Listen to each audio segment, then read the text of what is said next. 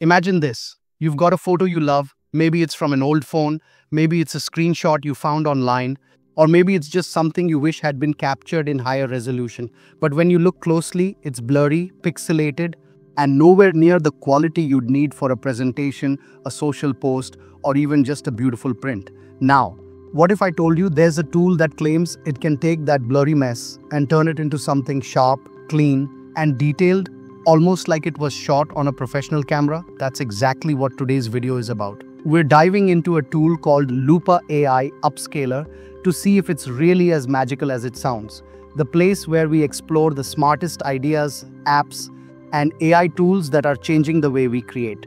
So, why even bother with an AI upscaler?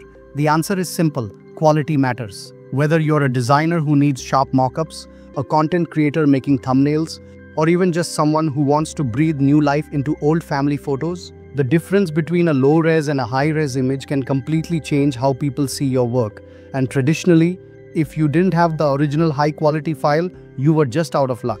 Enter AI upscalers, tools that don't just stretch pixels but actually generate new detail using machine learning. Lupa positions itself as one of the leaders in this space. It's a browser-based tool, meaning you don't have to install anything complicated, and it claims to upscale images up to 16 times their original size. Now, what really sets Lupa apart are the different modes it offers. First, there's high fidelity mode, which is designed to preserve as much of the original detail as possible. Think of this as the safe option if you don't want AI making creative guesses. Then there's creative mode, which does something a bit more adventurous. It adds interpretive detail that wasn't in the original. For example, if you upscale an illustration or a piece of digital art, this mode might enhance it with smoother lines and richer textures. There's also flux mode and realistic mode, both designed for more natural looking results, especially with photographs. So let's actually put it to the test. I took a low resolution portrait photo, the kind you'd normally see look completely washed out when zoomed in. After running it through high fidelity mode, the difference was immediate. Skin textures looked more natural, the eyes were sharper, and the background noise was cleaned up without looking overly artificial. Switching to creative mode gave me a slightly more stylized version where the AI seemed to smooth things out and give the photo almost a polished editorial feel.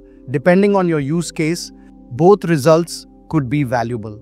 And it's not just photos. I also tried it with an old piece of concept art. The original was small and pixelated, but after running it through creative mode, the lines looked redrawn and the colors popped. It almost looked like the artwork had been remastered by the original artist. That's a big win for designers or anyone working with digital assets. Now, of course, no tool is flawless, so let's talk about where Lupa shines and where it struggles. On the positive side, the speed is impressive. I've used other AI upscalers before where you're waiting a full minute or more for results. With Lupa, it usually takes under 10 seconds.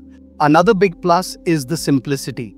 You don't need to fiddle with a dozen sliders or technical jargon, upload, choose a mode, and you're done. And most importantly, the quality of the results is genuinely good. Faces in particular come out looking sharp and realistic, which is something a lot of other upscalers still struggle with.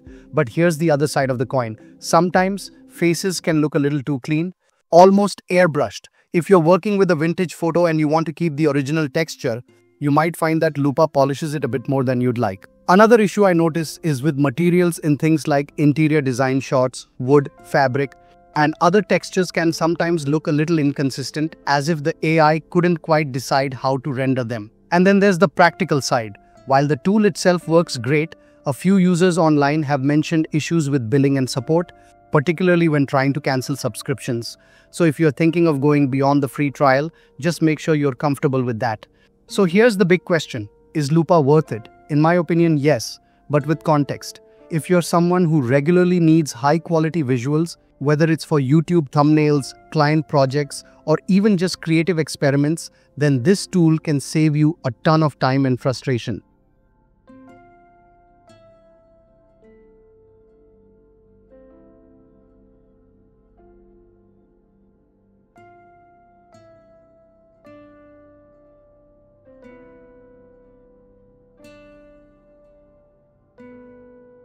Before we wrap up, let me throw in a quick tip. Don't just use Lupa for obvious cases like fixing blurry photos.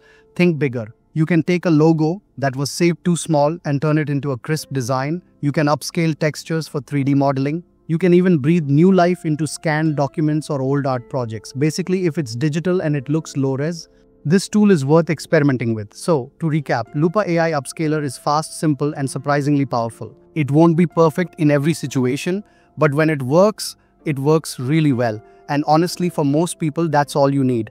If you found this breakdown helpful, do me a favor hit that like button because it really supports the channel. And I'd love to hear from you in the comments. Have you tried Lupa or any other AI upscalers? Which one do you think does the best job? Let's compare experiences down below. And if you're new here, don't forget to subscribe to Ideaplex for more deep dives into the tools and technologies shaping the way we create. Thanks for watching, and as always, keep creating smarter, not harder.